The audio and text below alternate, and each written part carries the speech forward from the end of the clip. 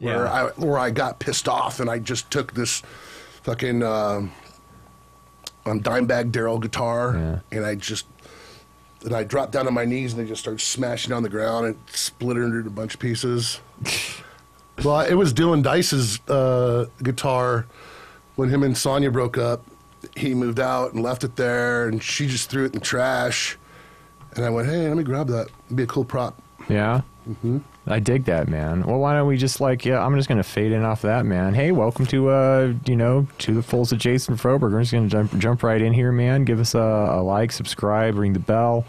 Uh, follow us on social media, support us on Patreon and PayPal. And uh, today on the podcast, my very good longtime friend Brian D. Litton, uh, lead singer, guitar player of uh, Kill Jaden, and now the bassist of the Ghost LV Tribute, man. Mm-hmm. Well, welcome on the podcast. Already talking shit, already Thanks having a good me. time, man. Yeah, dude, thank you for being here, bro. It's fun. I'm glad you finally made it, bro. How's life treating you? Life's treating me good. Yeah? Yep. Am I supposed to roll off of that? Uh, Yeah, no, exactly. So, uh, Really good. Really good. Yeah. Okay. Cool, man. so, no, you came in to talk about your Ghost tribute band, man. When did you guys start that? I didn't know. Uh, I didn't know you were doing that. Oh man.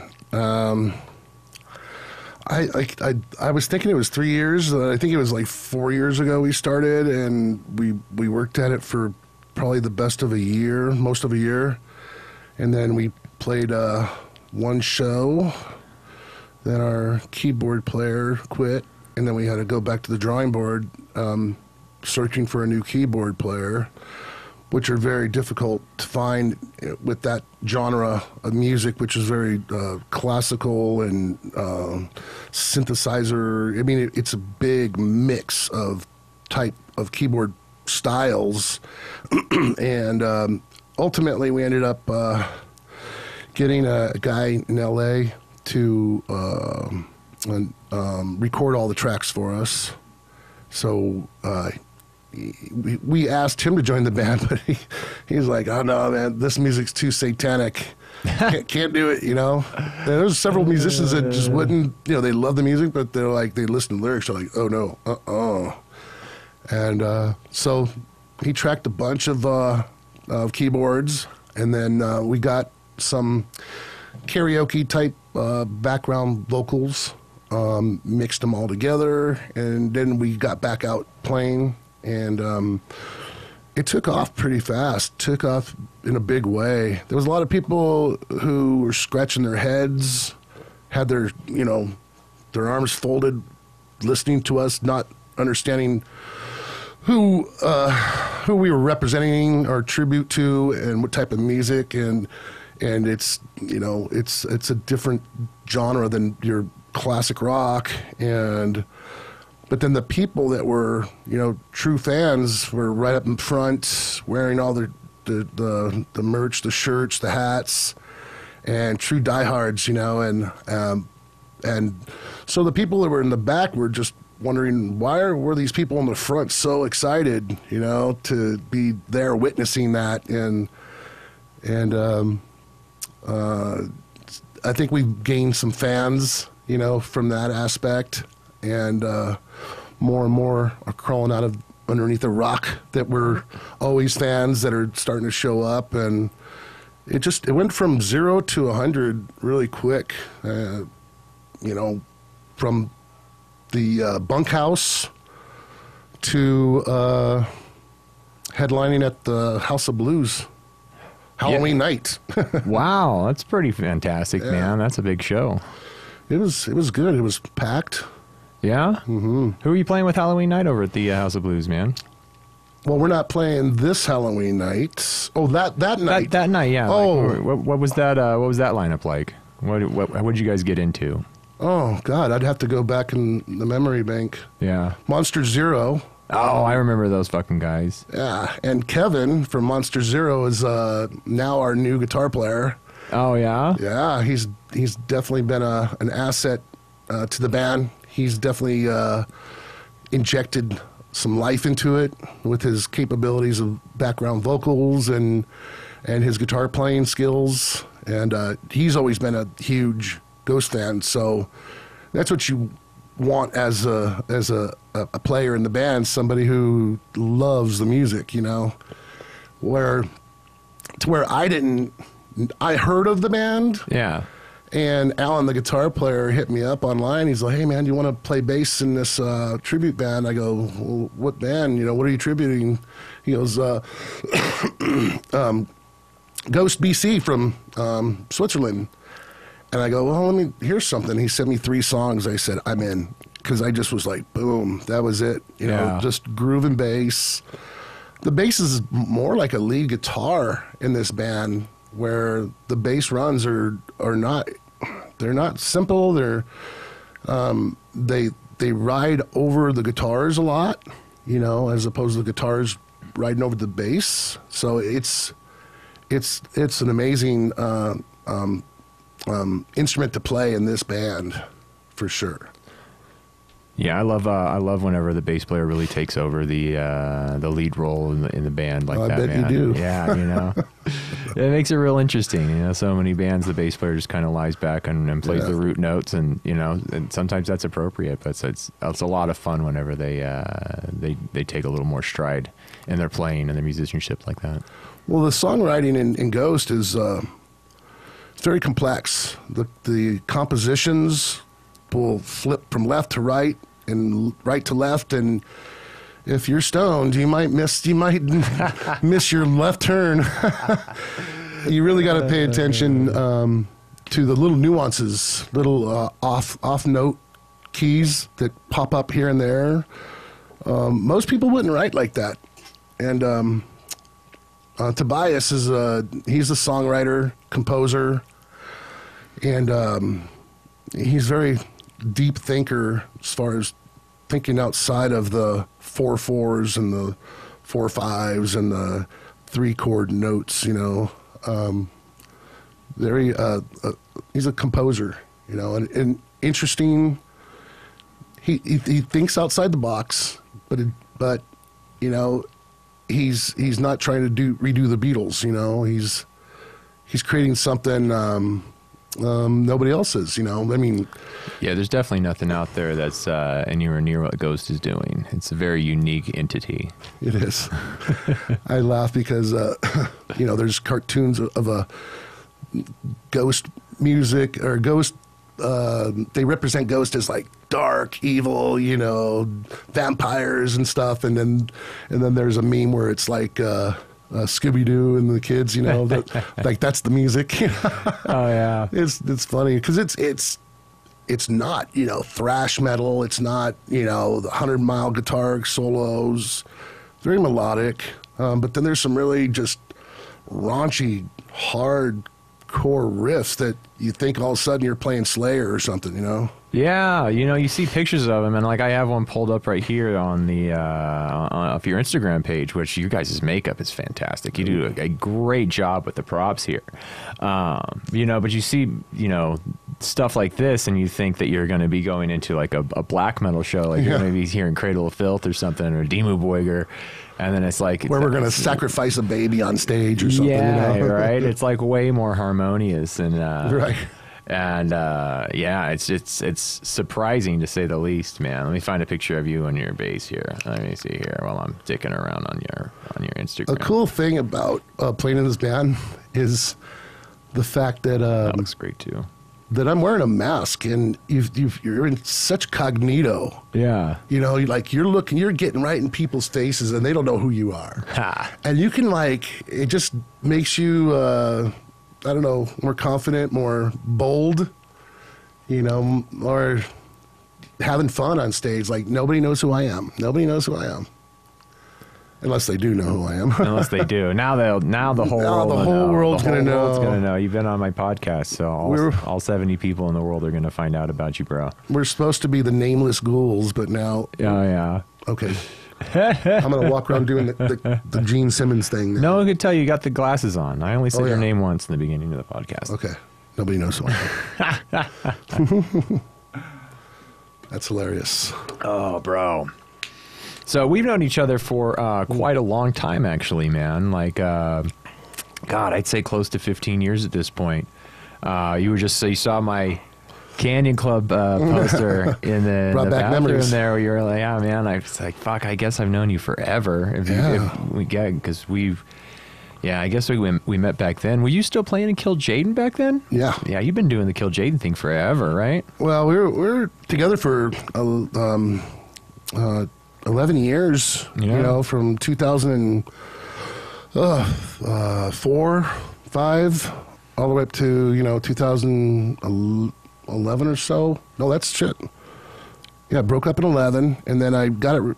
I got it back again, and I re, I re got the guys back together, together again, and we played uh, uh, at Vamp'd on uh, December. I'm going to say 18th, opening for Damage Inc. And then COVID happened, Oof. and it was like, oh man, we're just getting back together, and then, and then you know, life throws you a loop, and um, you know, Ronnie moved to Florida. Uh, I'm expecting him to come back sometime, you know, in the near future, and you know, we we've got some uh, tracks that we did at Hit Track Studios, and um, I'm doing vocals at Dylan Dice's studio. Oh, I love Dylan. Me too, man. He's such a great dude. Yeah, one of my best friends. I didn't know he had a studio in town. I'm gonna have to go hit him up and check out what he's got going on, man. Oh yeah, he's he's got a well. It, I think it's in house. I mean, last time I was there was up in his attic. Yeah. He's got one of those consoles that you know, I've, everybody talks about them, but I'm not too familiar. What, like the Raven touchscreen There- consoles? There, you go. Yeah. There you go. Yeah, he's got. like, like I got one right up there. Oh, there you go. yeah, well, he's got the, They're co- the, whole console. You know what I mean? oh, he yeah, he has the desk with the, it sits inside of and everything like It's that. crazy. Yeah, that's nice too. he's he's definitely been chipping away, you know, with some uh, great engineers that have been teaching him a lot. Yeah. Um, yeah. So I went and did um, some tracks on a song called "Beyond the Neon," and um, but I think I'm gonna change the, the tuning from a um, a C to a D sharp. No, yeah. I, I think it makes my my vocals. Uh, I push harder on a on a D than or a, yeah D than the C sharp. Oh, okay. Yeah, or C sharp to, to D. Sorry. Oops. Oopsies. Yeah, no. Yeah, I'm gonna go in and re-record the whole damn thing, but you know, more money. but I, I just want. I just want it come to be studio. to be perfection. You know. Yeah. Yeah. That's why we charge by the hour. Me and my uh, me and my buddy were just talking about that. Uh, just uh, the whole uh, song rate that everyone tries to get out of you. Oh, you know, because the artists, yeah. I, I just totally understand what they're Oh. what they're where they're coming from. Where they're like they have a budget and they want to get so many songs recorded. You know, and it's just like uh, every time you do that, uh, you end up just working for free, basically. As opposed, and they're just like, nah, I gotta, I gotta give you an hourly thing, man. Yeah. You- I mean, because if they do one change, that that just you know takes more time. it takes forever, yeah. And then they, they keep coming back and they're like, well, we paid you for this song. Can you just edit this one thing? And then they call you the next day. Uh, and then there's one more edit. And then you're like, okay, well, like, we're, we're about done here, right? And they're like, yeah, just, okay, can we just come in and recut the vocals real quick? Fucking, man. oh! Yeah. Oh, yeah. The endless, the endless song, the endless editing process of uh, recording uh, music. It, you, it's like a tattoo. You get what you pay for. Yeah, that's the truth, man. I know that. I know that firsthand. I am. I'm half my body is covered in dog shit tattoos that we did ourselves. A lot of them, you know. Me and my friends built tattoo guns, and Oh, uh, really? Yeah, when we were young, we couldn't wait, man. We couldn't wait till we were 18, and uh, and so we made tattoo guns and started tattooing each other in, our, in our buddy's garage. And I got this. Is the one that still got right there, fucking Slayer. Oh wow! yeah. you went for it. oh, bro, it looks like everyone's like, when are you gonna get that fucking uh, fixed or whatever? I was like, it's perfect. what are you talking about? it was free. You got what you paid for. That's what a Slayer tattoo's supposed to fucking look like, bro. like it's been in hell for eternity. yeah, like you, like you got it in fucking prison. Uh, oh, yeah, yeah. It's always best to, to spend the money on on good artwork, man, yep. and, and studio time. Especially covering up a an ex's name or something. You know. Ooh. the name is always a curse, man. whenever you get a whenever you get a, a fucking lover's name put on your body, you're just you're just completely cursing Asking the relationship. Yeah, yeah. You know now. Just subconsciously, you're just like it's. it's Yeah. fucking stuck with me forever. Uh, I was like, maybe, maybe I don't know, I don't know. Maybe I got to do something about this. you definitely got to do something about it. Uh, fuck, bro. yeah, don't ever get uh, don't ever get your lover's name tattooed on your body. Never again. yeah, that's a bad one. That's a bad one, man. so, but uh, yeah. So, anyways, back to playing music. Music. Talking about fucking tattoos, man.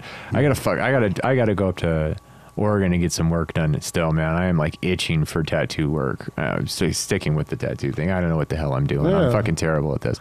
No, I, I have not had a tattoo since the, the pandemic, bro, and it's driving me nuts. Have you got any tattoo work done recently? No. No.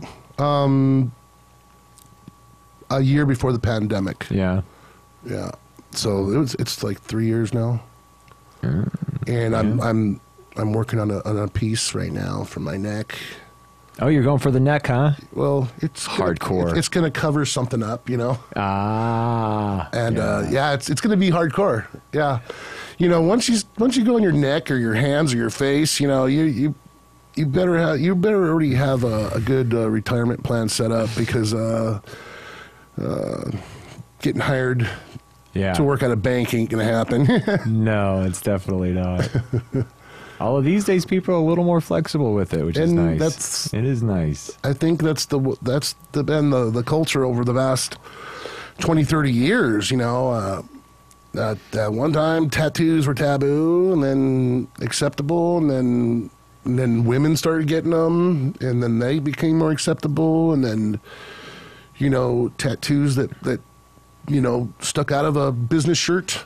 You Yeah. know, uh, became access, uh, acceptable and and you know, and a lot of people are doing the neck now, you know, and and uh, and, and hands, and I I I never understood. I always thought like you know it's great to be all tatted up, but you know that's that's your weekend look, you know. Yeah, It's- exactly. It's, not your uh, your nine to five look. You, you know, if you want to have a, a career doing something, you know, long term. But fortunately for me, um, in my career, my my business, I'm in construction. I and I got earrings and I got tattoos and nose piercing and long hair and it just uh, it just it it just took a minute till they saw my set my skill sets. You know, and now nobody sees the tattoos. Yeah. Nobody sees the earrings or the nose piercing. They just they see me. You know, they see the guy who's getting it done. So That's the most important thing, you know. You know, show up and make shit happen. No one will give a fuck what you got tattooed on you. No. yeah, there's still corporations that you know won't hire people with you know those types of uh, Oh yeah. decorations and stuff, and you know they want the conservative look or whatever, and Yeah. uh, the hell with them. Yeah. well, that's the decision you make too. You know, people that go for it, they're just like, uh, I'm not, not going to spend my life in a cubicle wearing a, you know, wearing a suit and tie and doing casual Fridays. And I just rather fucking die, Yeah. be homeless, you know. Yeah. just make sure that's uh that's going to happen, and just put fuck right across your knuckles. Not, and you're and you're a cashier at a bank, you know, you're fuck on your fingers. yeah, you know, you'll you'll you'll definitely uh, you'll definitely keep yourself out of a cubicle that way. Yep, you'll you'll- be doing yourself a favor. Yeah, You for know. sure, for sure. You know, I, I always, uh, I'm, you know, I'm a musician, but I'm also professional at what I do. And I know so many musicians that are, are just musicians, you know, that's their livelihood. That's a rough life, man. As is an artist.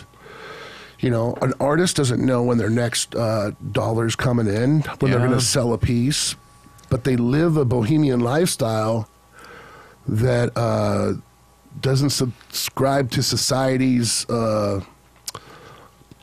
um, model of what you're supposed to look like and how, where where you're supposed to work and you know how to, you know uh, you know contribute to your social security. There's people out there that that work uh, make money, ca- cash money, you know, and they don't uh, prescribe to their Social Security uh, uh, retirement. You know, they're basically, you know, shooting craps, you know, on Oh, their yeah. on their future, Rolling the what- dice. what they're going to be like when they're, you know, seventy years old. But you know, I don't think they think about that. I think they just think about today and what they're going to create. And Oh, yeah. they have that. You got to have the belief that whatever you create, somebody's going to fall in love with and pay money for, which in turns pays for your studio, pays for your your ink, you know, your paint, your your food, your ele- electricity Oh yeah. and I, I it's just the bohemian lifestyle is always uh, I was always uh, fascinated with it. You know, people who just uh, tat their neck up and their whole face up and say, you know what, this is this is who I am going to be, whether I um, survive or I starve to death. Yeah. Whew, more power to them. Hey, you know you're gonna fucking die anyways, man. You know there's no uh, there's no escaping that uh, cold hard fact. So it's like you might as well uh, live on your own terms while you're uh, you know in this incarnation, and, uh, and and do it do it do it to it, man. I agree. I agree. You know, fuck it, man. We, we, we didn't take human birth to make corporations money. You know, we came here to we came here to create art and, and love and and have this wild experience, this crazy ride of a, a human birth. And yeah, I I What- love I love some of my friends that have their tongues split and their eyeballs tattooed and they're just fucking wild Yeah. people, man. They're some of my favorite people to be around. And, They're so uh, free spirited. yeah, exactly, man. You know, living life Yeah. to the fullest. It's better than being mundane, you know, uh, uh, living in a cubicle, like you said. Yeah. You know, I, I don't live in a cubicle. I I create what I do for a living. Is you know, I create, I build things, and uh, I get every at the end of every day, I get to look back at what I did. You know, and um, you know, I've been doing it for so long that I'm I don't even put my hands on it. I just just you know put the energy out to the crew and then they put it together you know and i i'm, I'm like a conductor i'm a conductor you know Oh, yeah. electricians go That's where you want to be, bro. yeah and i got a nice air conditioned office it's out in the middle of the desert and uh, it's very peaceful Yeah. That's fantastic. I'm glad you made it that far in your career, man. Not a lot of people make it to that point where they're the, you know, supervising and, and leading uh, crews.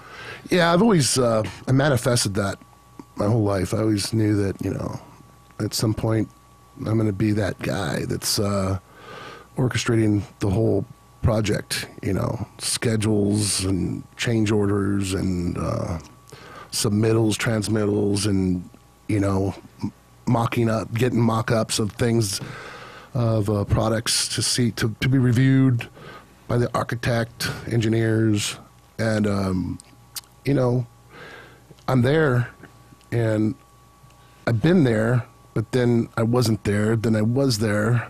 It's all about the economy. When 2008 happened, you know, I had this big supermarket I was remodeling, and then nothing, you know.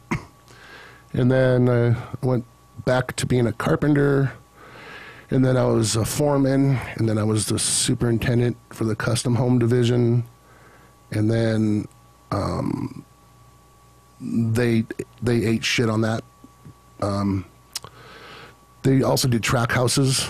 Anyhow, they laid me off, and then I became a bass player for Brent Muscat and the Saints of Las Vegas for two years. I remember that band. That was a lot of fun. It was a lot of fun. I went Yeah. from getting up at uh, five in the morning to going to bed at five in the morning. Yeah, bro, that's the truth, man. I that fucking uh, rock and roll lifestyle is a commitment, dude. It Yeah. really is. it was fun though. You know, Yeah. that's all I did. Work three days a week.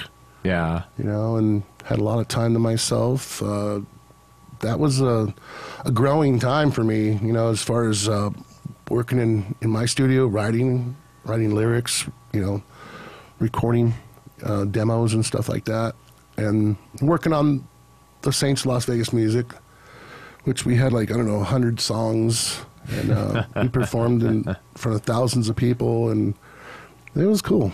It was a good experience. Oh yeah, man. Yeah, your whole life has to be revolved around that whenever you're doing that for a living. I remember that was like my whole twenties was uh, waking up at like three in the afternoon, yeah. going to bed at six in the morning. Yeah. You know, just Sun's like- coming up. It's like time to uh, blacken out the room. You know. That's it. Yeah, all the all the rooms in my house had blackout curtains in them, and it was just like a fucking cave, bro. I could stub my toe at at one in the afternoon. Yeah. You know, because it's so black. You go to the bathroom, you're like, boop. Oh, absolutely. Which living in the desert, it's actually, uh, you know, out here in Vegas, it's a great way to do it because you know you just you're sleeping during the hottest parts of the day, and then you're up at night when Yeah. it's perfect outside, and so you get the best parts of the Yeah. of existing out here in the desert. You know, You sure do. and you know, laying on the strip in front of you know thousands of tourists. That's just so fun. You know, yeah, people getting up, dancing, and singing to all the music, and you know, then you you pack up at after four sets and. You know, you go home or go to another show, watch somebody else play, and oh yeah. yeah, Yeah, that's always the wildest thing, man. Is like uh, you know you you got a job you you love whenever you wrap up what you're doing and then you go to someone else doing the thing you just got doing Yeah. for fun, you know, because you just love it so much. I, I I'd always like a great example for me would be like when I was working in the House of Blues. We'd um, we'd wrap up for the night, and then all of us would head over to Dive Bar and get shit faced till eight in the morning. There you go. You know, and it was just then we'd watch we'd watch like Brent Muscat and the Sin City Sinners, you know, Oh, yeah. kick ass all night long, and we just have a blast. Yeah, no kidding, man. They used to, yeah, they used to play late. Um, remember they were um, residency on Tuesdays at the the first location. Yeah, the original. Yeah, it was hard getting up to work the next day, but you know, had to go check it out. Oh, dude, I'd I'd leave Dive Bar, um, and like they'd they'd lock the doors, and we just hang out and drink, and uh, and like it would be closed, you know, and it was just like Yeah. friends and family just getting fucked up, and then Wow. uh, we'd just be like, oh shit, we got a load in in thirty minutes. oh, And we just go straight back to the House of Blues and like start unloading trucks and setting up shows for the day. what's that girl's name? Um, Stacy Dive or the blonde chick? Uh, she works there still. Angie? Angie Dive, yeah, that's it. yeah, yeah. She's I still. love Angie. I saw Angie yesterday. Did you? Yeah. How's she doing? She's still beautiful. Yeah. Love you, I- Angie. I haven't I haven't been there in a little bit, but yeah, she's always been cool. Yeah, I'm I'm trying to get in, I'm trying to get involved with them a little bit more. Hopefully, you know, nothing official yet. Oh, okay. Yeah, but uh, you know, I got the I got a lot of speakers, and I want to Uh, make that place fucking rock. it- like I want it to fucking bang in there. Yeah, So- it needs something now. yeah, it does. There was there I was can issues make, with a lot of feedback and levels, and Oh, before it was like their little board was like this big, you know.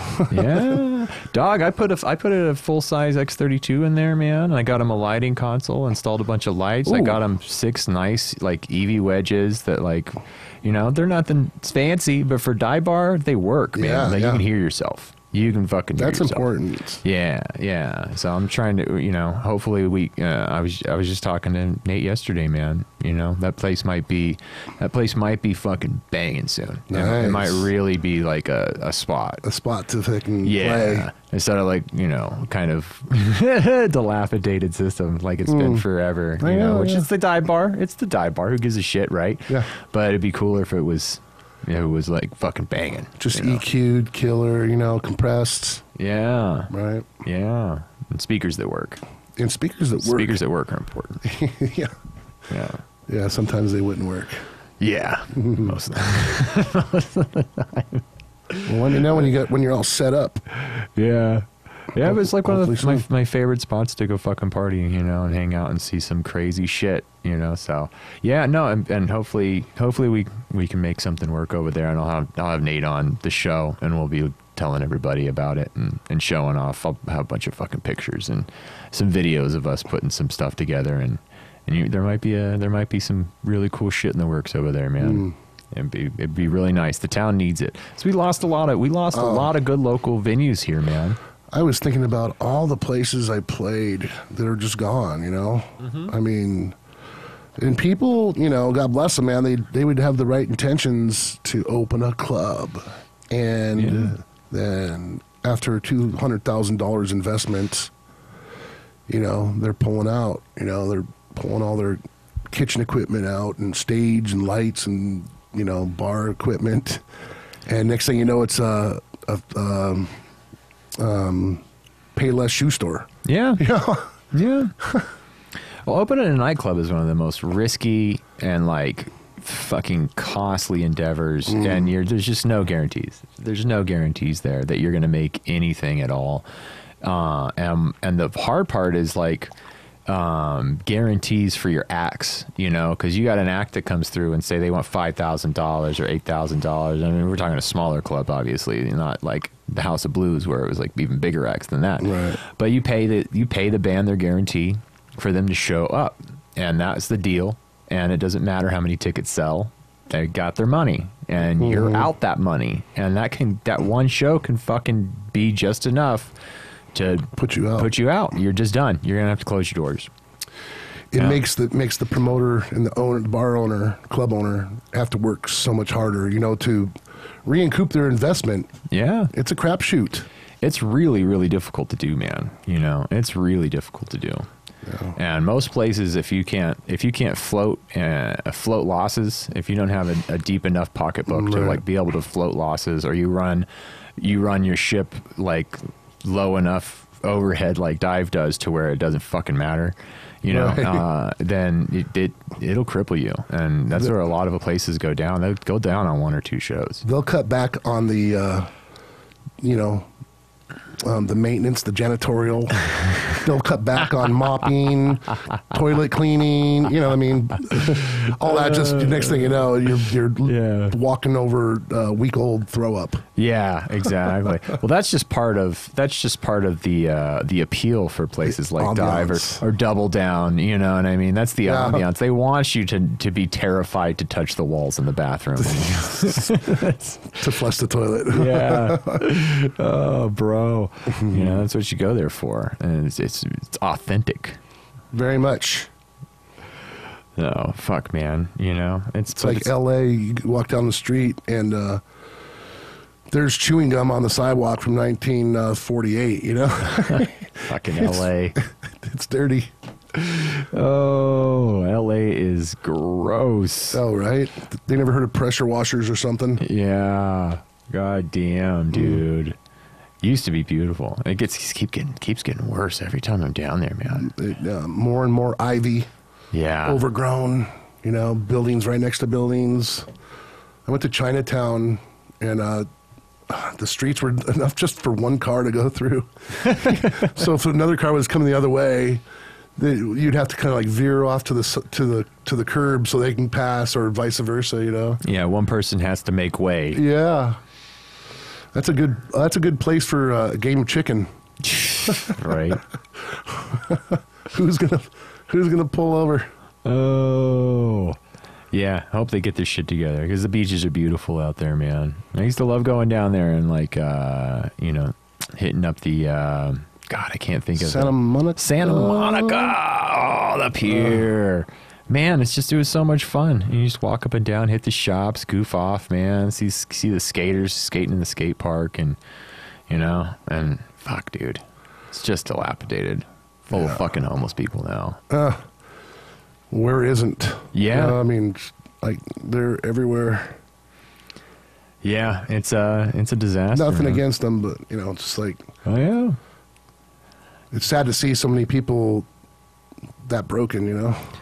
Yeah, it is. And like the system's fucking hard, man. You know, you you it, it used to be there's some there was a little more support in uh in this country and I feel like uh you know, if you if you stumbled just for a second now, you know, you, you can you can just as easily wind up on the streets, you know. You you one one good bout of depression, stumbling into some alcoholism and you'll. Job loss. job loss and then there goes your house and then you're like what the fuck happened what happened you That, know that quick. yeah Yeah, it can it can happen to anybody, man. It really can. It's uh, it's it's scary, man. And no one gives a fuck. That's the worst part. Well, that that's true. Yeah. I always, you know, I, I look at that and I go, um, that'll never happen to me. You know, I'll do whatever it takes. You know, Yeah.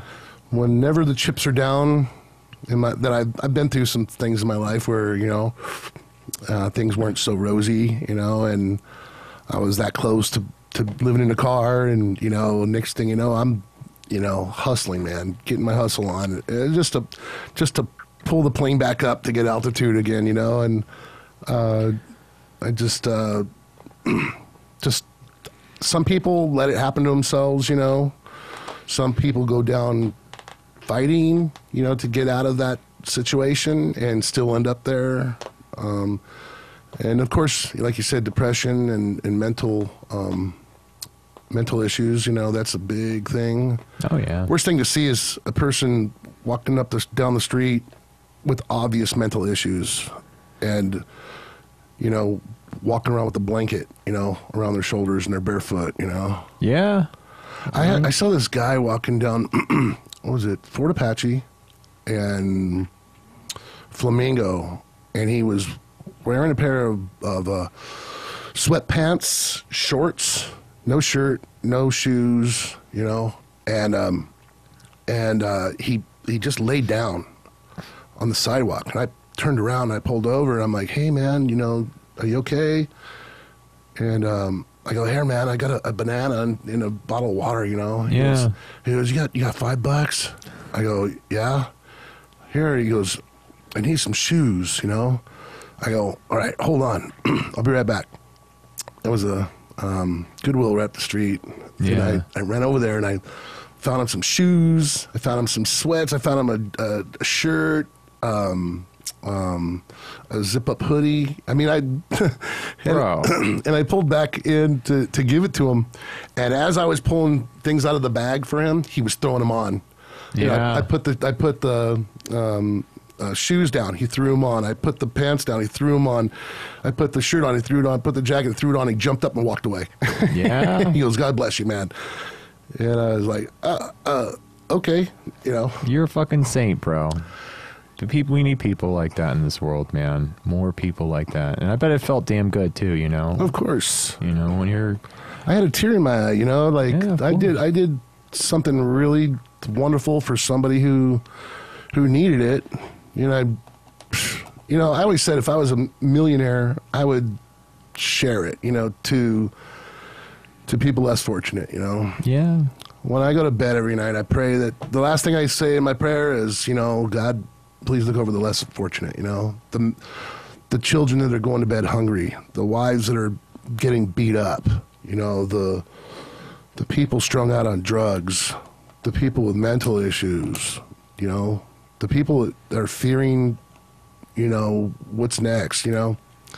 I got it pretty good, you know, oh, compared yeah. to a lot of people, and you know, it'd be selfish just to pray for myself, you know.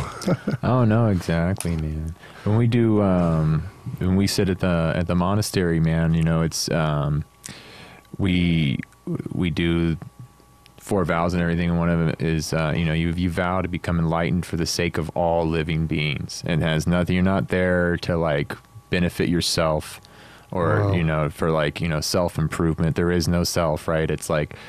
I'm I'm here doing this work so that I can I can make the world a better place and and you know through me through me growing and being able to take this out into the world and like help people with it as much as humanly possible. that beams out it, that Yeah. beams out positive positive energy into the world Yeah. and love. And love is the biggest uh, powerful energy there is. Yeah, you got to tell me, bro. I fucking uh, I'm a lunatic about the love thing, man. That's that's really all there. That's really the only thing you're here to do, man. That's what everything is essentially made from is is the essence of loving awareness, and uh, and yeah, you want to you want to just emanate that out to everybody, man. It's like it's like whenever you. Uh, you, you take too much fucking ecstasy, you know, and you're just you fill up, you fill up, and you're just so full of love. And what do you do with it when you get to that place where you're, you know, you don't, you give it away to everybody. You're just walking around just fucking emanating, just pouring love out of yourself. Wow. Just like, you know, I love you so much and you're hugging everybody and, and just you do anything for They should anyone. give that out. They should hand that out to everybody, man. You yeah. know? Well, you know, and you can you can practice that in your own life. You can get to that that place where you know through you know mindfulness and meditation and, and healthy living and just like you know generating generating as much love as you can within yourself until it just fucking spills over out into the world. You know, and I think that's really like the the true purpose in in in this game of life we're playing is to to come to that realization and that practice to where you're just you you've you've got so much that you just can't help but just give it away to everybody. Yeah, I mean, walking around with love in your heart, positive energy, and and not just holding it in, but emitting it out to the world. Yeah. You know, you're in a you're in traffic and somebody cuts you off. You know, you can get mad or you can just go go for it, man. You know, I'm I'm, I'm letting you in. You know, I want to let you in. Yeah.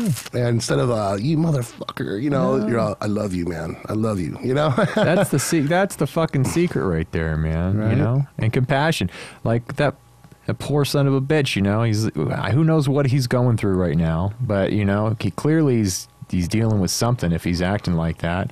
And it's just like you got to just feel for the, you know, even though he's being a dick to you, it's like you know, no, no, no. It's not about me, you Right, know, and that's right. this has nothing to do with me. This is that guy's fucking problem, and I just, you know, I just have compassion for whatever his plight is at that moment in life, even if it's just that he doesn't realize what an asshole he is. you know, some people get caught up in themselves so much, and then it turns into their own personal hell, and they just run around not understanding why And- they're suffering so much. yeah, and seemingly, you know, stepping on others to, Yeah. to do it, you know. And uh, so one thing I learned um, through through a through a clarity program I went through was to uh, you know ask yourself several questions in the morning. You know what um, what's different, what went right, what went wrong. Um, what am I grateful for, and what do I want to create today? Yeah. and so that practice took me away from you know the fast lane and zipping in and out of lanes to getting in the slow lane where it's slower but less aggressive and then just putting some good music on and meditating on the way to work and not have I- i feel sorry for those people that are just racing because they're just dying to get to work Yeah. by dying, I mean they could die. The, way, Yeah. the way they're driving, you know, and and and check my pulse compared to their oh, pulse. Well, my that- pulse is boom boom, and there's like boom boom boom boom boom boom boom. boom You know, they're stressing. The stress kills you, right? Not just collisions, but stress in your life, and they should get rid of time clocks, man, because that that that push to get someplace at a certain time to clock in or you know you can get fired or whatever you can lose your livelihood Yeah. i think that's in, in inhumane Yeah. i haven't went by a time clock in the past 10 years i mean my start time might be 7 a.m but if i get there at 7.10 I'm, I'm here you know Yeah. I'll work that 10 minutes over. It doesn't matter when you get there. It matters you get you there safely, and it matters that you get there in tune with what you want to create that day instead of you're not thinking about any of that and you're just trying to beat lights and cut people off to get ahead and uh, it's it's sickening man Yeah. Plus, you just threw away 30 minutes of your existence on Yeah, that trip. of enjoyment. You're not being in the present moment. And the only thing you should ever be focused on is being in the present moment. If you're, if you are present, it doesn't matter what you're doing. You know, you're you, wrapping cables, washing dishes, cleaning fucking toilets. Doesn't matter. Driving to work. If you're present, if you're right here, right now, mm-hmm. then everything's fine. Mm-hmm. Everything is fine, man. You know, there's nothing to actually be worried about, you know? Like you know, you might be concerned with some something that's going to happen at work, you know, when you get there or some issue that you're having at home. But it's like, "A, you're not at work right now and you're not at home right now. You're in the fucking car, right? Just be in the car. Just be driving. You sing the song that's on the radio. Don't be concerned with how getting there 30 seconds earlier, you know, Right. because you're going to get there when you're going to get there, man. Here's here's another little thing I, I always would do to keep myself calm. Yeah. And I've done this for years, so this was ahead of the clarity class. was um, I'm looking at the clock in my car, and and I got five minutes to get there. But what I tell myself is, am I late right now? No, I'm not late right now. In five minutes, I will be.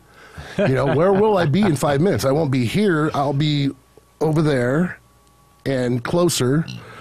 But the thing is, it's you, you're stressing before you're even late. Yeah, oh, yeah. You're only late when you're late. Yeah. When that clock strikes midnight, that's officially the time where you're late. So it, it was it's oh it was always a stress reliever to me. Like, uh, uh, uh, man, five minutes. Okay, am I late yet? No. Okay, calm down. You know, just kind of reel myself in, yeah. and uh, God, there's so many ways to you know keep yourself in, in tune and and and uh, like you said, right, he, be right here. Another thing is to ask yourself, what am I thinking right now? If you're ever monkey mining, yeah, man. you know, thinking about all these th- other things and stressing, just ask yourself, what am I what am I thinking right now? And once you do that, you're thinking about where you're at right now. yeah.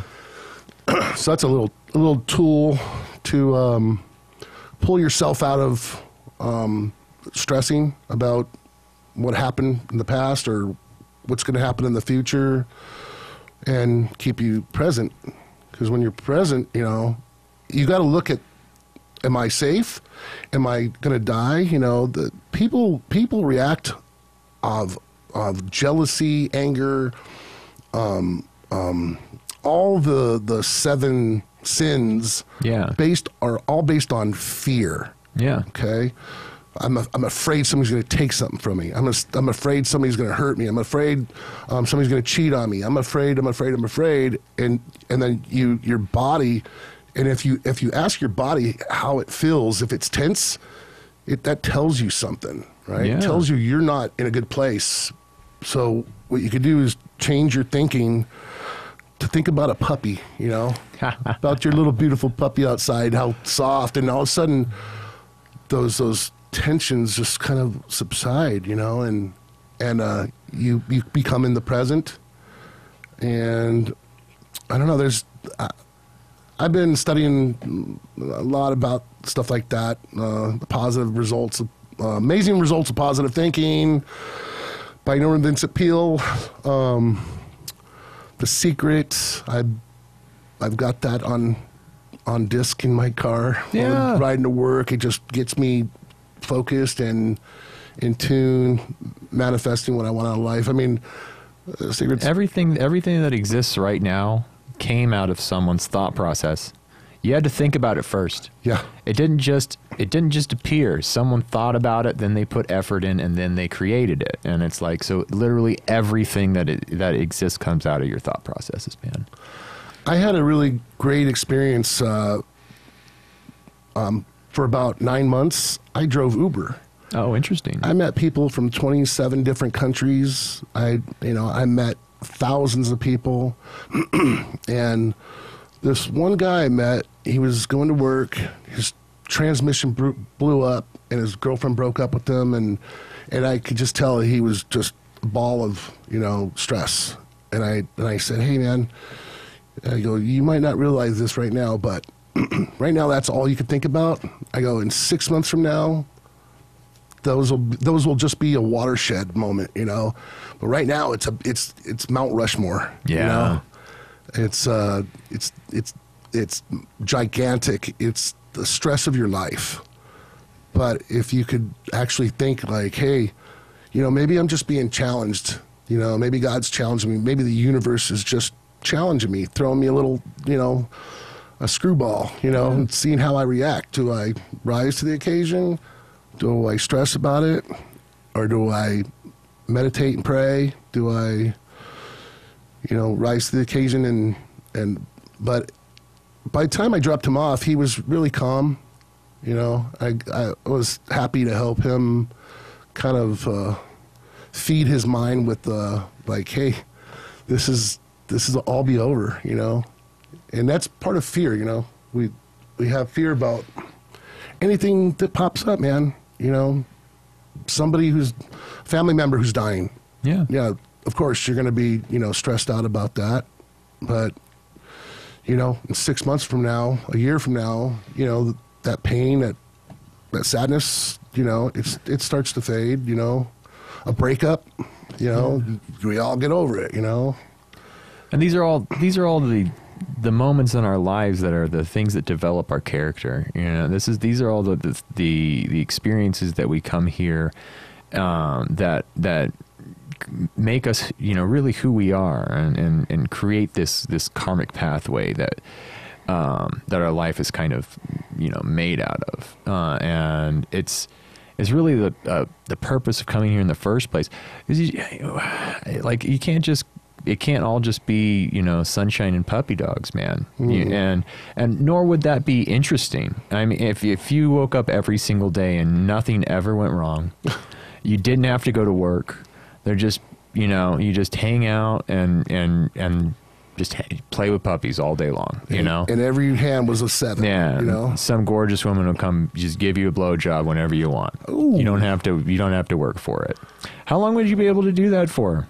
Before you just like blow your cutting your own, cutting the, you know your arm, just to feel pain, to feel something. You know, like Uh.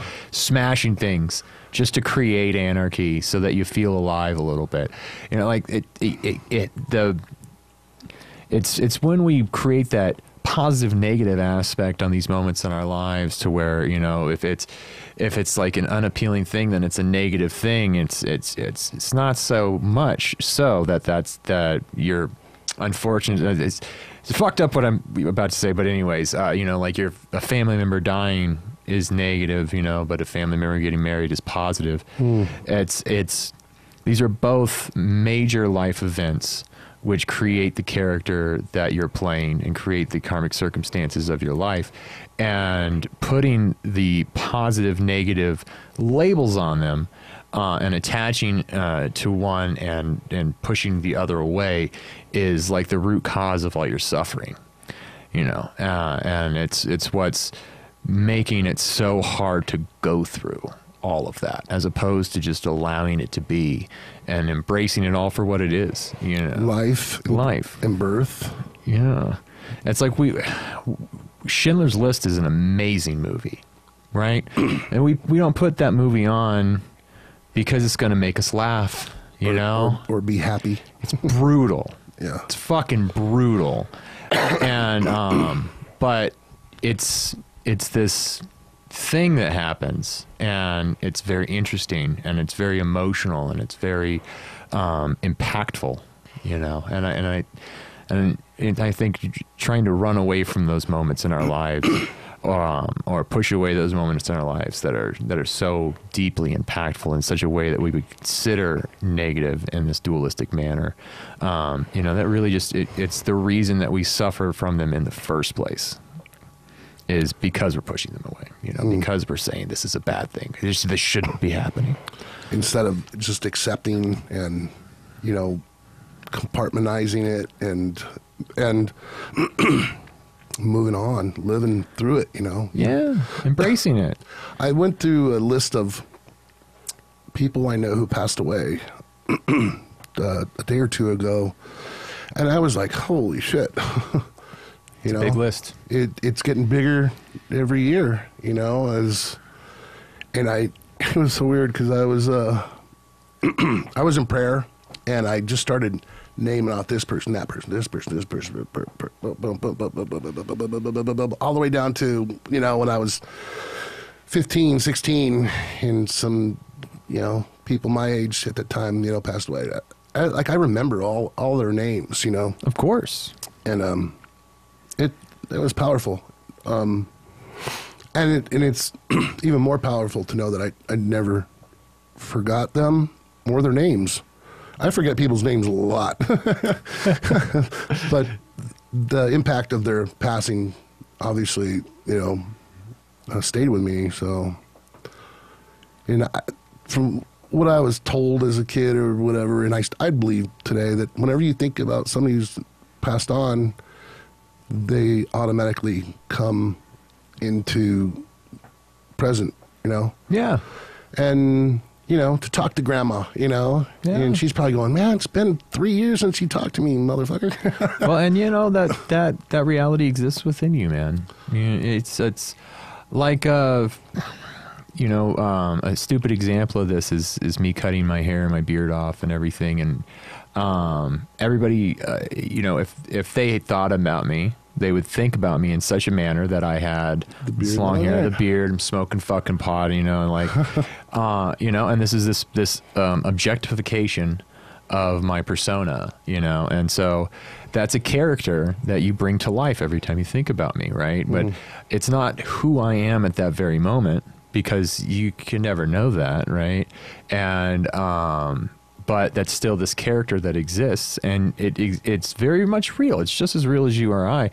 That um, you know you're you're bringing to life. So when you re- when you are remembering, you know your your fallen uh, friends and family, um, it's you're you're revitalizing this this character role. this image, this memory of them. Yeah, It's funny you say that because uh, I had a guitar player, or sorry, I had a guitar tech. I was like shit, 19, 20 years old, and um, this this kid Memo, little little Mexican dude with Bon Jovi hair, yeah. curly, wild, beautiful fucking hair, you know. He he ended up dying. He fell off the back of a truck on a on a freeway. Jesus. And um, anyhow, um, went to his funeral, and his head was shaved. I didn't recognize him, you Yeah. know. And anyhow, subsequently after that, me and the band and a bunch of other people got together and did a, a car wash, you know. And uh, we had chicks out there in bikinis, and it was a wild, wild, wild car wash. Let's just say. Um, anyhow, we bought a bought. We got enough money to buy him a headstone, and uh, and um, and with his face carved on it, you know. Yeah. But we didn't do the short hair. No. You know, we did the, the, the memo we all knew, you know, and I thought that was cool. Yeah, that character that meant so much to you in your heart. I have, Yeah. I, got a bad thought. Like if I ever died of cancer, you know, after a five year battle, and you know, tubes all in and out of me, and my hair's gone, I don't want people to remember me that way. Yeah. you know, yeah, man. I want them to to remember me, you know, long crazy hair, tattoos, you know, up on stage, uh, rocking out, having fun, you know. Yeah. It's like um Norm Macdonald, man. You know, he didn't tell anybody that he was dying of cancer, and he didn't let anybody know that that was going on. And he, there was just there's just no moment in anybody's um, memory of Norm as Norm who's dying of cancer. There's just the guy who made everyone fucking laugh, and he was and he was you know he's still just cracking up rooms. Well, he's sitting there fucking dying. Nobody knows what's going on, too, and nobody could tell. He did not give a shit.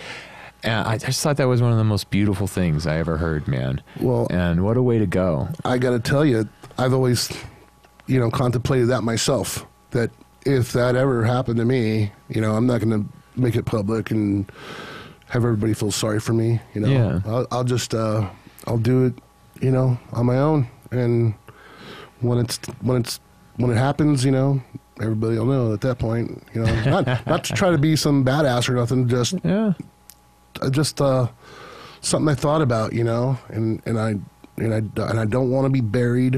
I want to be cremated and planted under a tree, you know, to give that life, you know, to live through that tree, you know, to continue on. yeah, You know, and hey, maybe I'll be somebody's uh, log fire someday. You know, it. You know the the nature of reality is impermanence, man. It's always just in flux.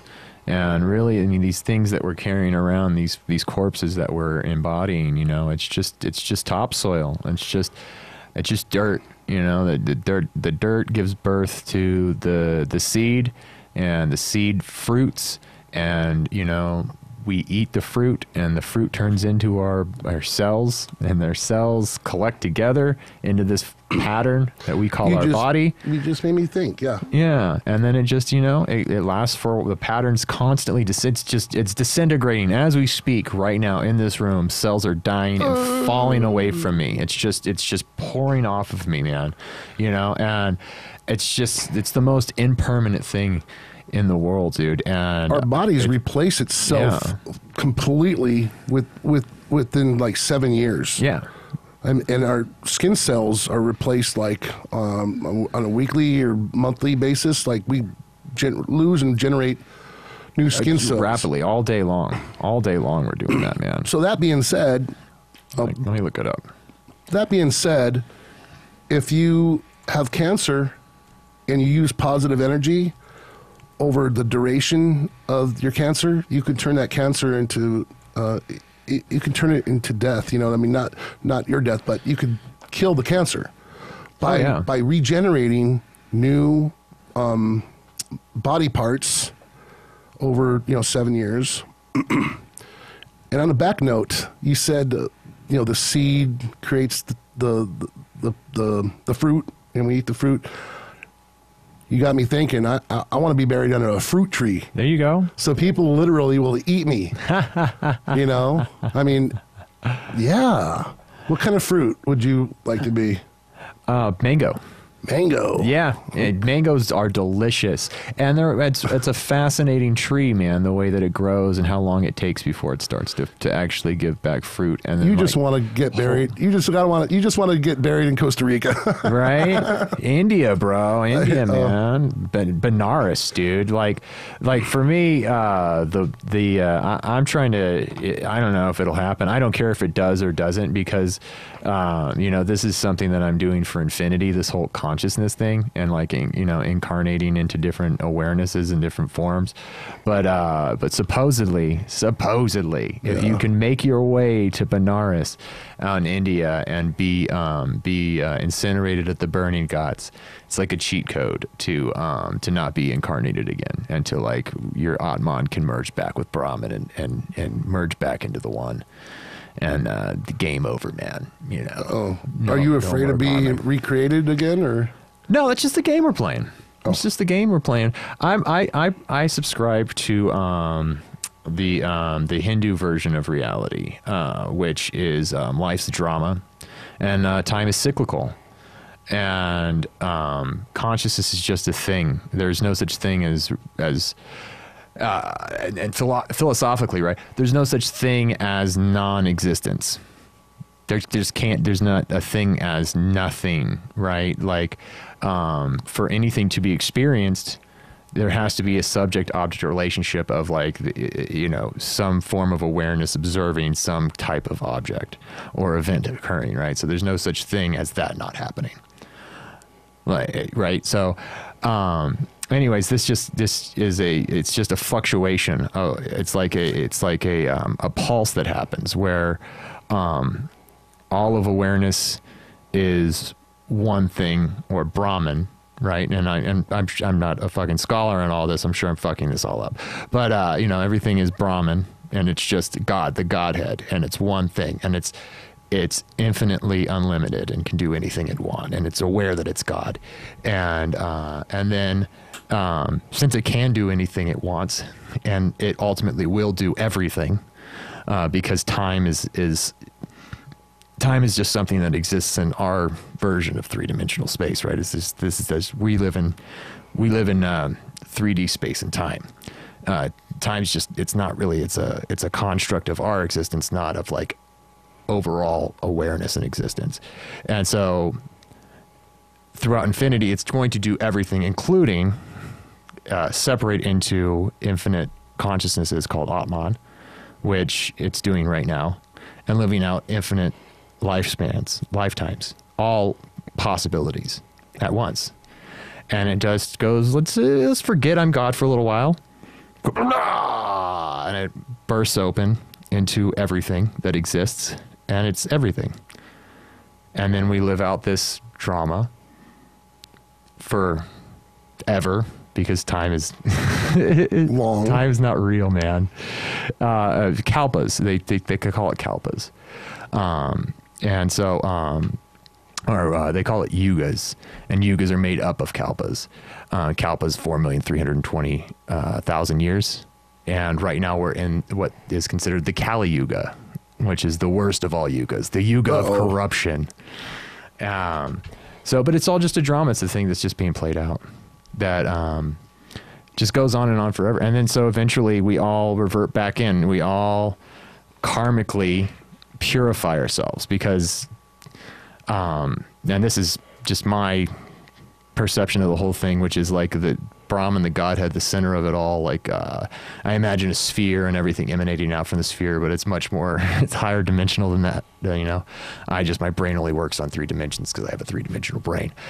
But uh, um, you know, that's that's this purity, this pure loving awareness. That's just there's nothing there. There's nothing there but compassion and love and uh, you know all of your fears and like um, you know suffering and your desires and your perversions and all this shit this is part of your physical self right this is part of the ego structure that the physical body is wrapped up in and your awareness is um, occupying that space and so it's like it's like this merging of this love and compassion with the physical self and all your survival mechanisms but like behind all that it, there's just there's just this loving awareness. So when we purify and purify purify ourselves away, which is like what the spiritual practice is, whatever spiritual practice you might want to call it, you know, if you want to follow Jesus, you know, he's teaching the same thing as the gurus in India or the Buddha. Um, you know, it's all, it's, they're all, they're all leading you up the mountain, man. Purify yourself, love everyone, compassion for everything, you know, and you, you get to this point where, um, you karmically have nothing left to do to purify your awareness and you merge back into Brahman. And everything's doing this. Everything's doing this constantly. So we, it like explodes out into infinity and then slowly, um, you know, and entropy, you know, like at the farthest ends of it, the little tiny curlicue of pain at the end of a big paint blotch. That's mm. us. That's just our whole universe, you mm. know, and like fucking infinities, like, mm. you know, infinity, man. And it slowly peeled itself back as it purifies. And then it becomes Godhead again. And it's all knowing, unlimited, infinite in knowledge Wow. and possibility. And I know that's a mouthful. It's hard to get all out. But it's this beautiful concept of reality. And um, and for me it's the it makes the most sense. And when I drop fucking mega doses of acid, um, that's exactly what reality feels like. Wow. and uh, yeah. And so i just recognize that all things are love that compassion isn't something that you can develop you know? You can't work on it. You just once you pour all this bullshit away from yourself that's what you are. It's your true nature. Is just love you know when it's that voice inside your head it's a baby you know what a fucking a baby you know a baby's nothing but love it doesn't know anything Yeah. this is no shit, man. It just fucking reaches out and just loves everything. Yeah. And slowly we turn that baby into a person and we build this ego around it, you know? And then, you know, you're fucking Jason and this is the things you like and this is how I want you to fucking act and this is how you behave and you don't do this and you do do this. Right. And you slowly turn into this thing, you know? And then you're like, I like this stuff, but I don't like this stuff. And it just turns into this shell. But before all that happened to you, you were just love and compassion. And you're just, wow, wow. And that's your true nature, man. That's what you really are underneath all of it. And when you can get rid of this facade of self, um, you know, all that's left is love and compassion. It's like just stripping down to your your you know what you were born with. You know, Yeah. completely naked. You know, stripped away from from all anything that, c- it, that that's concerning. You know, I I always I always thought it was uh, a soci, so, sociology um, uh, psychology psychology thing whatever that just tripped me out. My mom's a psychologist, by the way. I'd love to talk to her. Oh, she's fascinating. but think of that, you know, it blows my mind when you when I see thugs, you know, Yeah. that talk like this, you know, and, and I always tell people like, what do you think he was when he was like when he was like three years old? Do you think he talked like that? Do you Well, think he had his pants hanging off his ass, you know, on purpose? Yeah. You know, that it's just the, the people become personas, like you said. Yeah, it's a you know, character role. and and also think it's a character role, but it's also a, a sociology thing because it's who they surround themselves around, right? Yeah. Now, go to the airport and watch a bunch of dudes get off from uh, um, Europe, man. They're all wearing they're all wearing the same little loafer shoes, the little little uh, tight, long, uh, short pants. The, you know, the polo shirt. I mean, it's funny. Or you see these guys all wearing pointy toe shoes. They're all together wearing Yeah. pointy toe shoes. It's like, do they dress each other? I've seen guys in the mall where they both had baseball caps on backwards. They both had goatees. They both, you know, were wearing the same thing. They, they it's like they dress each other, and that's you know, we're we're kind of taught, drawn towards you know our our surroundings, right? Yeah. And- we, we emulate we emulate things around us. Yeah. Yeah. So I think there's a lot of unoriginality in this world. Oh yeah, no. So you you come into this place as this pure pure loving awareness, man, and then um, you know your parents who um, at this point very much convinced that they're real. You know, they're convinced that they are who everybody tells them they are, which is the role that you play. Like me being Jason, right? Like I don't believe I'm Jason. Right, I play the role real well, all right, and I, but I'm not caught up in being Jason, you know. And then I don't associate with that as like um, my core identity, you know, because there is no such thing as Jason. And all these these um, habits that I've developed over the years, which I'm kind of trapped in, right? I'm locked in all this habit energy and um, this illusion of self and ego. Um, and all my desires and aversions that I just kind of collected uh, over the years, right? This is this is a prison. It's a it's a soul prison, you know, or a prison of thought and um, and so I, I recognize it as such. And then uh, my my goal throughout the day is to breathe, be present, and love everyone around me as much as I fucking can because I'm not real. Neither are they, but they think they are, and they suffer immensely because of it. This is what Jesus was talking about, man. You know, it's just that compassion for your fellow man. And the whole reason he let them put him up on that fucking cross, you know, to prove to them, like, man, his body isn't me. Hmm. This doesn't make a difference, you know. Heaven's within you. It's not a place you go. Hmm. You know, it's it's it's a state of mind. It's it's a recognizing that you're complete at this very moment. You always have been.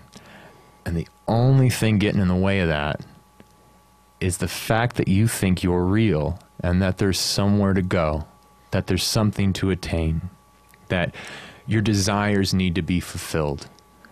And that's all a trap, man. It's called the illusion of Maya. And um, and when you can get away from that, man, you just the world opens up to you. And it's such a beautiful, beautiful thing, man. And you're literally right now, you're you are sitting in heaven because this is infinity, like I was saying before. You're going to do this forever. Conscious experience. One way or another, incarnation after incarnation. This body's going to die, and the Atman or the collection of awareness that's occupying is going to uh, occupy a different kind of awareness. And that's going to just keep fucking happening forever, you know? And it doesn't have to be in this specific three dimensional reality either, you know, like this version of Earth or this timeline or this uh, multiverse, whatever you want to fucking call it. You know what I mean? So, like, literally everything is only relatively real. And so, where we're sitting right now, being eternity, would by definition be heaven if you uh-huh. just accept it. Because there's nowhere else to go, man. and everything's perfect, by the way. Yeah. What do you need in the world? Food and water. And water falls from the sky. And And, food grows out of the ground. Yeah. Those are the only th- two things you fucking need, man. And God made them so plentiful. Water falls from the sky, Wow. and food grows out of the ground. It's all the other extra bullshit that we get wrapped up in that makes heaven a hell. And we make a hell of ourselves. And it's a fucking trap, man. And it's because we think we're real and that our desires need to be fulfilled all the time. And they fucking don't. You can just sit here and be. There's nothing you need to do. And if you can learn to do that, man, you, you will you you can't believe how fucking content you'll be in your life. And that's all I that's my only goal. I don't care about fucking money. I don't care about fame. I don't care about if anybody ever sees any of my art or hears any song I ever write. I just follow my breath and I'm grateful for having it. And that's all there is to do. And uh, I wish I could give that to everybody. I wish I could show everybody that. You can't. You fucking can't, man. And if you go around trying to, you'll lose all your friends. um, you know, but it's uh, the only thing. It's the only thing, and it's magnificent. And I and I know that I've gone crazy, and I'm a and I'm literally a crazy Jesus freak, and uh, or whatever you know, Buddha freak, you know, Rama, Krishna, Spiritual. You know, yeah, spiritual nut job. Um, but try it, you know, try it. It's very interesting. Yeah. That's very interesting. I, you know, I, I love the, the the fact that you're such a deep thinker. Probably one of the deepest thinkers I've ever met. To be honest with you, you know, Thank you. and um, I appreciate that. You know, I the way you described everything was is very uh, elegant. It was it, it, it it's hard to wrap your brain around it. Yeah, this isn't logical thought I'm talking about here.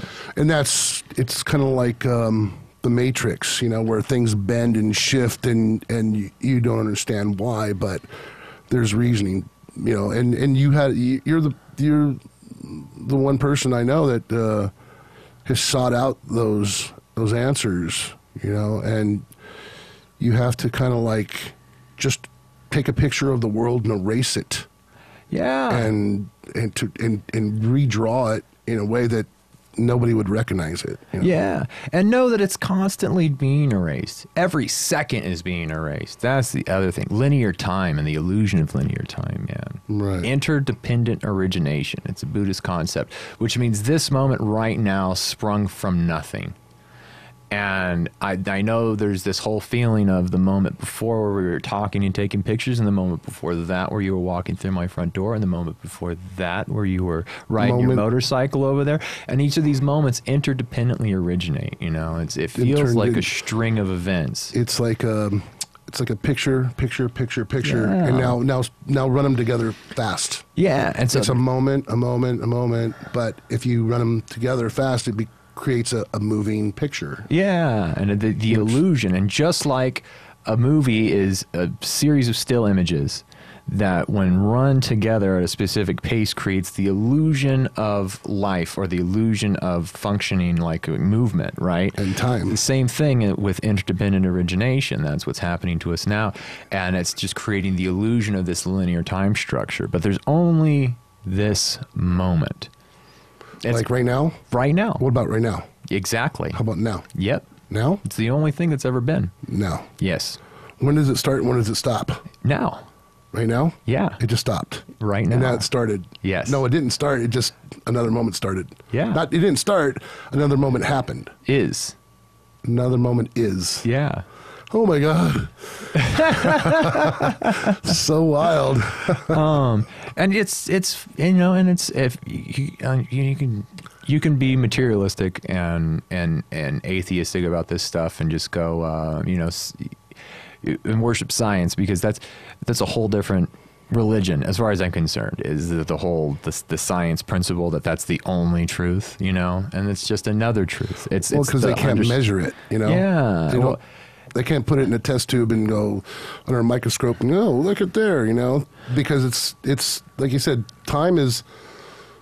I think Einstein said time is is is is um, things that are, that are hap- that are going to happen in in the future are already happening. Yeah, it's all happens at once. So And the past affects the future, and the future affects the past, and, and the present is just what we're experiencing of that fluctuation. you could be on a Harley right now in the future. Mm-hmm. All of a sudden, boom, you're riding on a Harley, you know, but in the future. Yeah. And it, it, it could be, Well, and you will be, Brian. I will be. You will be. you're going to have this experience on your way home. All of a sudden, you're going to be present on your Harley and go, "Oh fuck, here I am right now." Boom, on my Harley. It's it just happened. that happens a lot. yeah, I gotta pinch lot. myself. I'm like, oh my God, this is so fun. Yeah, and if you come to if you come at reality and see these are these are just thought these are these are games you get to play with your consciousness and when you come at reality from these different places, man, and and play this game of of of conscious thought and awareness, it just it opens the world up in such beautiful ways, man, and such beautiful perceptions because all we have is our perception. You know what I mean? That's your perception creates reality, right? It's it's it's true man. Like, cause when I was super depressed, everything was horrible. Everybody fucking sucked. You know, I wanted to kill myself because it was just unbearable to exist in such a piece of shit world where everybody's so fucking horrible to each other. Nobody cares. Everyone's throwing all their garbage on the street and fucking raping kids and fucking killing each other. And it's just too much. It's overwhelming suffering. And your perception of reality can be as such that that's all you perceive. And that's not untrue right? Those are those are things that are happening. And but my perception of it and where my focus com- is and where my uh, awareness Your stands where it comes from you know? And how that that perception of everything. When you shift that the world shifts with it. The world shifts I- with it. I see I see uh, posts of people with cancer, people dying, and I, I don't subscribe to it. I Yeah. I I see it, I move on. I don't manifest myself into that, you know. And it's not because I'm, I'm heartless. It's because I just I want to be in a in a good positive place, you know yeah as much as I can, you know, and um, something that I've been working on in meditation is just uh, taking, you know, the monkey mind of stress and uh, fears and and turning it into something that benefits me more. You know, Yeah. hearing about somebody's mom in the hospital though you know I feel sad. I just don't want to um, uh, lock myself into it. They, here's here's a, here's an example. Um, I, I went to visit somebody who was had some major um, surgeries coming, some infections, current infections, and went there to you know, to bring happiness into the room, you know, to bring a positive, hey, how are you, man?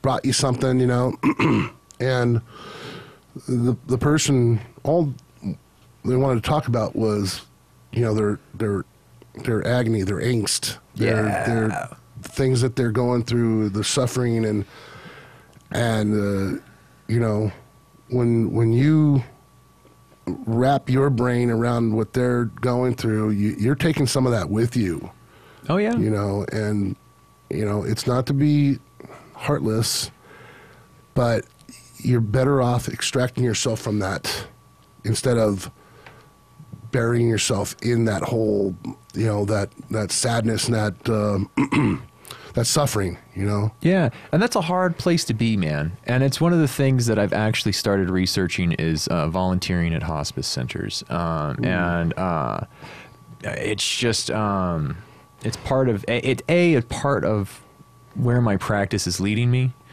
and and B, part of just the the overwhelming love that I was talking about. Where uh, uh, when I have my days off, man, like I feel like I'm I can, should be giving back uh, as opposed to like uh, recreating so much. And still, I like I love going and riding my bike and going for hikes and shit like that. But uh, you know, I, I'm at a place in my life now where it's like you know I should be going to do this thing and uh, and choosing the hospice is, as part of the practice is is learning to deal with these moments of death and being in a place where you can be this open um, source of love for these people uh, when they're ready to stop suffering for a moment and be there with them uh, and be strong enough to be there with them because that's a very fucking brutal place to be um, in, a, in, a, building full of everyone dying. Uh, but it's it's reality, man. It's reality. It's it's most true, you know. Which is like this is such an impermanent fixture. Uh, this this this this physical body that we're we're in, and and and the more you can let go of it, uh, the more you can be willing to leave it voluntarily, you know, the better off you'll be throughout your life. Because attachment to the to the physical self, um, you know, that's like the ultimate form of suffering. And uh, and yeah, it's uh, I don't know. I don't, I don't, know what that adventure is going to lead to. You can, but you can change the trajectory of of where you're going physically, health wise. Yeah. By by being positive. Well, yeah. Watching funny movies, uh, sitcoms, laughing, you know, saying this cancer's going, it's, it's disappearing, it's, it's leaving my body, it's leaving my body, and you believe it and you're thankful that it's, it's going away. It's yeah. going away, and I'm going to think, I'm going to laugh, I'm to smile. It's a lot better than the alternative where you're just, you know, you think I'm, I'm dying, I'm dying, I'm dying, and you just you uh, obviously it, you're just gonna you know make it happen faster, uh, make it more painful probably. I don't know, but yeah. Well, you're an energy being, man. I, all I know is if I ever, you know, got cancer, I talk about that a lot. um, probably because my brother-in-law just died on the 22nd uh, August bro. Lung cancer, fought it for two and a half years. Um, never smoked a cigarette in his life. Yeah. but anyhow, um, those are the people that. Those are the people that always fucking get lung cancer too, right? The ones that see, never smoked. Secondhand smoke. Yeah. But if I, I, I'll tell you this: if I ever got cancer in any type of way, I'll, I'll quit my job. I'll, I'll live in a tent. Doesn't matter. I will give up all worldly goods. I will just go to a mountaintop and uh, and just meditate. Yeah. And and meditate it away. You know, meditate it to to disappear. Well, and there's it'll take a lot of focus. That's why I want to go to the mountaintop. You know, I don't want to be city lights, honk, uh, horns honking. You know, I want to be very, very, very focused. There's a lot of documented um, cases of that of that happening where people like heal themselves through meditative practice and positivity and like you know just just go no i'm i'm getting better like i love the the thing from uh what was it like damien echols said it in midnight gospel you know he goes uh you know you don't say um someone asks you if you're if you're sick you don't say yes you say uh i'm getting better minute by minute you know, hmm. you never give it that power. You always, never accept it. Yeah, you, you always, you always, you know, remain positive and and and never succumb to like the the um, was it the giving up. You know, surrendering to the yeah. inevitability of death is like a negative thing. You can always you can always create this positive energy and energy. It cycles, man, and you can you can get that shit cycling within yourself, and it'll it'll heal, man. Well, like I was saying, that from what I've, I've learned, is that our bodies regenerate hundred percent in a matter of seven years' time. Yeah. So if we're redeveloping organs and skin cells and bone cells and you know hair and everything else, you know, if we if we eat right, yeah, if we exercise right, if we sleep right, we drink enough water, we're going to be healthier humans as opposed to going through fast food all day, every day, right? So, oh, yeah. so think of it this way: um, changing yourself into a, um, a spiritual being, where meditation uh, takes over stresses and fears um, is like switching from a Big Mac to carrots. Yeah. Okay. It's like, this is going to kill you. This is going to give you longevity. This is going to kill you being where you're, you're stressed and you're not, you know, you're worried and your fears as opposed to being somebody who's enlightened and uh, accepts whatever's to be, but also has the spiritual power to, over time, as cells die off and new cells come in, just like the cheeseburger. You know, we have cells that are dying off and coming back, and because you're eating cheeseburgers and cheeseburgers, and you know they're going to just keep getting worse, gener- degenerate and degenerate and degenerate, as opposed to eating, you know, broccoli, kale, carrots, tomatoes, apples, um, bananas, papaya, um, and so forth and so on. You know, things that are grown from the fruit with uh, have no saturated fats, no, you know, no um, disease, Yeah. and that will that that that will gener- regenerate your body. If you eat that, just that, you're regenerating good cells. Yeah. If you're eating just this, these cheeseburgers and Big Macs, then you're just regenerating the same cells and just waiting for the cancer cell to pop up and explode, you know. So mental, you know, um, mentality is such a big part of of who we are as far as aging.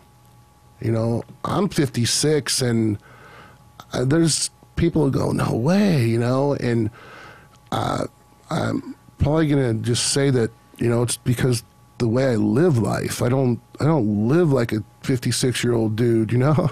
Yeah. I never have. You know, all my friends are in their 20s, 30s, 40s, and it's the people I surround myself with, and and and music is such a um, it soothes the soul. It's it, it feeds the spirit, you know, and and um, the scene, the music scene as friends, supporting friends, is such a positive thing as opposed to sports where, you know, it's you against them, Yeah. you know, type thing. Uh, even that could be, you know, um, shake hands at the end of the match, you know, hey, good good job, you know, but when you're in UFC, it's to kill the other guy, you know. Yeah. but music is such a, um, a beautiful thing that it it it's the fountain of youth, you know. I'd agree, man. Most of the musicians I know that uh, the older they get, the younger they seem, man. Like they just, you know, it's it's a different energy. It's a different vibe when you're a musician, man.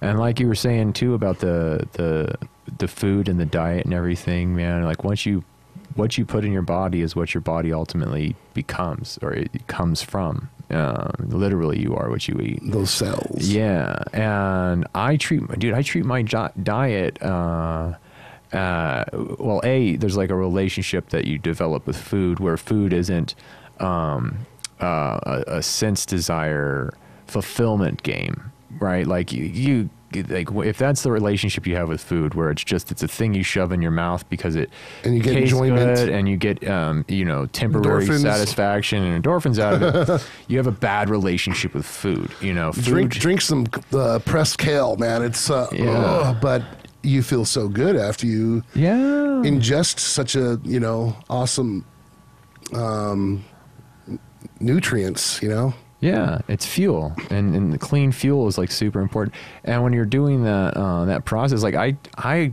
for me like my my food and my diet is it's it's almost like uh, getting high, man. You know, like because my state of, of of mind and my my overall sense of like how I feel, uh, you know, that stems from you know healthy living and and proper diet and any time that i breathe in and breathe out and i'm right here and i'm right now i've been eating good and my body feels great you know and in each of those moments where i am present and i'm aware and i take you know uh you know i check in uh everything feels phenomenal and i'm just I'm right where I need to be.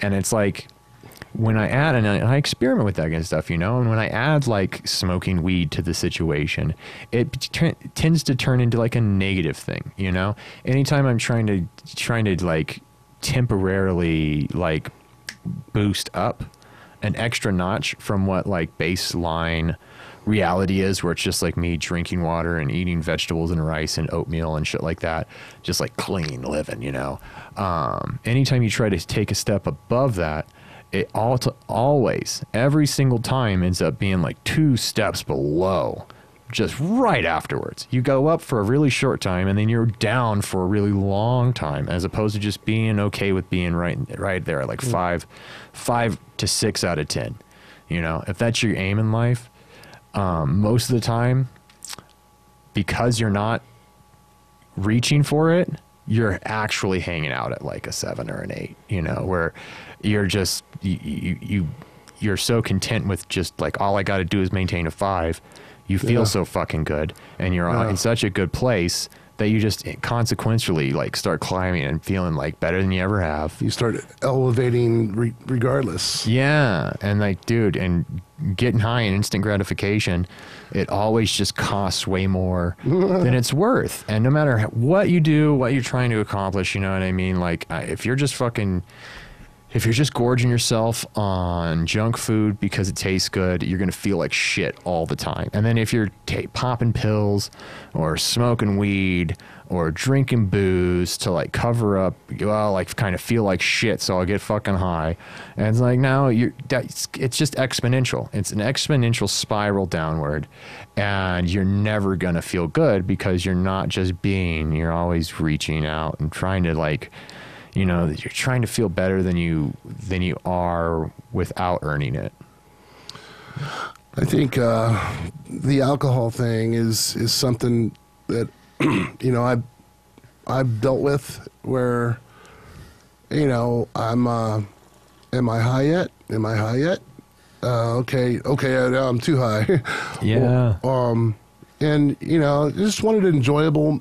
Uh, I just want to to enjoy myself, but you know, if I'm if I've got to ask myself, um, you know, how am I feeling all the time, then then maybe it's just it's pointless, and you know, uh, it just started becoming like uh, where you know, it you you drink and then the, the next day there's a void. And then to fill that void you drink again. You know Yeah. I, I had a best way to explain it but uh, and you ask yourself am i having fun you know and and if you're if you're very truthful the answer is no yeah you're You know? not I have more fun, you know, chilling out at home, watching Game of Thrones or whatever, and uh, just with like a, you know water, Gatorade, um, uh, but but sober, you know, just sober. Not I haven't smoked weed in probably three years. You know, yeah I used to. Um, I, I have an addictive personality, so once I, um, uh, somebody I can't mention who, but um, somebody said, "Hey, man, I uh, one of my one of my riders or, or riders um, gave me. I was dropping them off at the airport. They gave me a joint here. You know, I took that joint, and I smoked it, and next thing I know, I was smoking weed for the like the next year and a half. Yeah. and it wasn't cheap. You know, I was probably spending fifty bucks every two days. So Jesus. fifty dollars, hundred dollars, 150, 200, 250, 300, 350, 400, like you know, 500, 600 bucks a, a month. Yeah. And and when I when I wanted to buy my bike, I said, you know what, I know how to save money. so I, I stopped smoking weed. But um, it was just it was such a, a trip to me that that happened the way it happened. Yeah. And other drugs earlier on in my life happened the same way you know? Some cocaine put okay you know next thing you know i'm into cocaine. You know I'm like Yeah. the hell? I wasn't planning on being into coke you know but Oh, there that's it was. the worst. You're gonna feel like total shit the next day too when you do and coke. same thing with alcohol you know? It was it's like um, um, go out and get you know have a blast one night you know maybe drink a little too much you know and the next day little hair of the dog, you know, and uh, maybe a little too much hair of the dog. So the next day you need a hair of the dog, you know, kind of thing, and it's a vicious circle. So you got to be careful, um, you know, to not get yourself in a situation where, you know, you're drinking alone and you're drinking every day Oh yeah.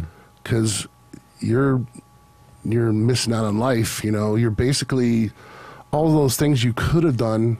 You know, just got pushed to the side so you can get inebriated. You know, Yeah. And nothing good comes out of it. Nothing good comes from it. I've never Feel writ- like shit. I've never written a, uh, I've never written anything good. You know, drunk. Yeah. I've never had any great rehearsals drunk. yeah. you know even you know personal practice at home working on music it's usually half an hour into it and i'm like put this thing down you know put this instrument down. I'm not i'm not i'm not there. It's when you're you're sober and you're totally focused on you know on emotion and and and music that you really create you know. I've I've written a couple things stoned, you know, the felt like deep thought, you know, just let something pour out on paper. And it was pretty cool, but not. It's not my best work, you know. my best work is definitely being in the moment, you know, Yeah. and uh, thinking about what I want to say, what I want to, how I want to say it. You know, because lyrics are, I love lyrics. Lyrics is one of the best things in the world to me. I, I've got lyrics. I've got a box of lyrics that I started writing when I was like 15, and they they are so cheesy. and I, I got them all. You know, Oh, I every song too. I ever written, and uh, not till I started Kill Jaden. um, I started writing in a really deep, profound way. And so the thing about songwriting is, you know, you're you're basically uh, telling a story, and you have, you know, four lines in a verse to explain something, and before you get to a, a, a pre-chorus and a chorus or whatever, and you have to be, you, you kind of got to jump over uh, fences to get to the end point, but you have to still be descriptive enough to where people could follow what you're saying. But you have to get to the conclusion fairly quick, or at least to the point. Yeah. The conclusion could be later on, or it could be in the chorus. And I just love wordsmithing, man, on on how to describe something in, you know, four lines, you know, uh, three verses. A lot of times I write uh, um, a, a verse, a bridge, then back to a second verse, you know, to really con- kind of just give a further description before the chorus hits. That way you kind of understand the chorus more based off of the, the story I just said, you know. And um, a lot of the stuff uh, I've written in Kill Jaden w- w- was just heartfelt. Compared to the stuff I was writing in my 20s and 30s, it was just, I was always trying to rhyme, you know? And, Yeah. And cool stuff like the back of my car, you know, the beach, you know, broads, babes, you know, back alley streets, you know, trying to be all, you know, evil and stuff. But Shit, uh, shit that mattered to you when you were 20. You know? I- when you're, you're not very. You're, you're not very deep at that point in your life. You're- You're just just barely learning how to fucking tie your shoes. You, you know, when you're 20, you're like, I'm an adult now, and it's like you were just in high school. And how how competent were you in high school? You were a fucking idiot when you were in high school. Let's be real. complete. Yeah, and so it's like, yeah, what else? You know? That's my alarm clock. Oh yeah. Well, I mean, yeah, and we have been talking for a while. Oh, I'm having fun. I am too. How about you tell us about some upcoming shows and we get you the fuck out of here? Okay. Um, we are playing at Vamp'd October 28th. Um, it's right before Halloween. Halloween's on a Monday, and Count 77's playing on Saturday, the 29th. Um, so Corey Coker offered us uh, uh, the night of Friday, the 28th, and I, I believe we're headlining. We're still working all that out. So if we are headlining, though, um, we we're gonna play a good two hour set, you know, as opposed to a, a fifty minute set. So, and we got a lot of material. We we're we got a lot of uh, songs uh, off the new album, which is really taking off in the charts, and uh, a lot of people. We just played um, last um, August twenty eighth, uh, opening for Damage Inc., uh, which was a great billing because Metallica and Ghost BC toured together and so uh, we jumped on that, and uh, after, it was it was a great show because everybody was in the audience wearing all the, the ghost memorabilia and shirts and stuff, and and singing all the lyrics, and you know people were asking for set lists after the show. I think we want, want might want to start printing out a bunch more of those and even signing them and that way if somebody wants them just hand them out whatever but um, the so that that was a great show. It was packed. Uh, the venue made a killing that night. Uh, we had fun. Damage Inc. had fun, and so here we come again, October twenty eighth. And like I said, I hope I think we're going to headline that. We're still working all that out, but if we do, we're going to be working songs off the new album. We just did uh, three on on August 28th, and we're going to add three more for this show. And we're going to add some um, songs from older albums uh, to this next performance, and and then we're working. We're trying to work something out. I think it's in. Uh, let's see, uh, October, November. I think in November, middle of middle or late November, we're trying to get uh, a show again with Damage Inc and the bass player's girlfriend plays keyboards in a well she did in a ghost tribute band in la and she was at our show she just loved us so we got to talking to her and uh, we might uh, debut her as our keyboard players, player it might be just for that show it might be for duration time hopefully you know we'll see but um, really looking forward to that hopefully that happens That's awesome. That should be Yeah. fun, man. I hope I can make it out to that. That would be cool, man. I'll get you on the guest list. Oh no, yeah. Save five bucks. much. Yeah, exactly. I, I that's a I like to pay. Whenever someone whenever someone invites you to their fucking show, they're not telling you to come for free. They're telling you to come pay the cover at the door. They're working their asses off, people. Unless it's a hundred and eighty-five dollar ticket, then I'll then put me on the guest list. Yeah. Then you don't you don't need my money if you're making that much money per ticket. Uh, yeah. But five bucks, you know, yeah, Yeah. sure. As a band, you're like you're a promotional entity for like a nightclub. So whenever you you know, it's like you're inviting your friends out. It's like you're trying to get people to go to a bar and spend money.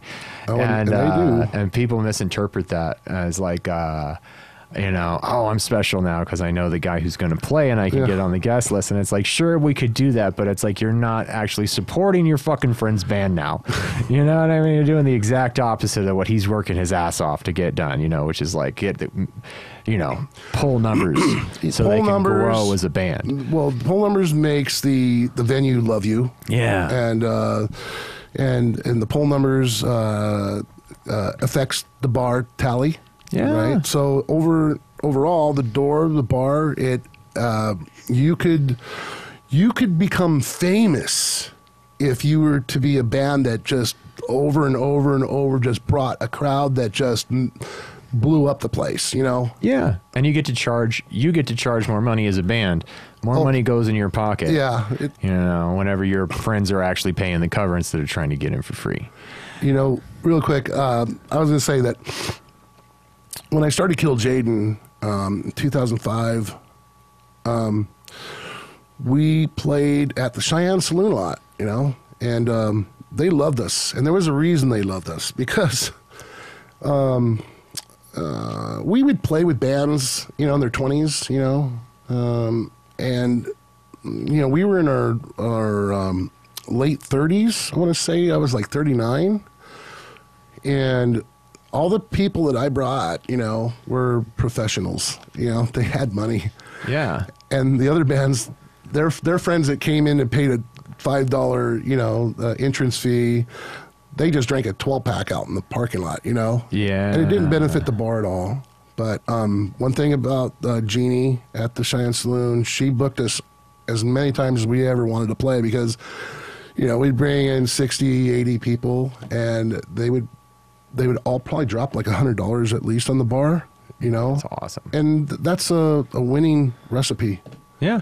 That's the whole reason everybody's coming together to create that. The bar, the bands, the whole the whole scene, you know, and so that people can make fucking money. That venue is very important. Yeah. To to the music scene, right? Yeah. It's very important.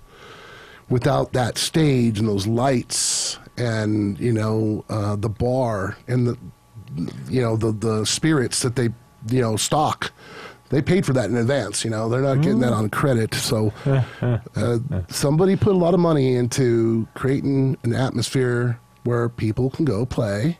You know you don't have to, you know, you don't have to demand, you know, thousands of dollars uh, uh, to play on their stage. You, you know, you could be, you can uh, negotiate something that that benefits the club to continue on, you know, in the future, and you know, pays everybody, you know, uh, something that makes everybody happy, you know. But the the main thing is these clubs keep dying because of uh, you know idiots drinking 12 packs out in the parking lot you know Yeah. and everybody wanting to get on guest lists Yeah. And then the club makes no money and then it closes down. Just like we were talking about. and you know and, and bars ultimately you know they they give freebies you know you know they hand out shots and drinks they're you know they want to be you know they want to they want people to feel like they're welcome they're they're liked they're appreciated you know here's a f- free beer you know um, but some bartenders might go overboard on that and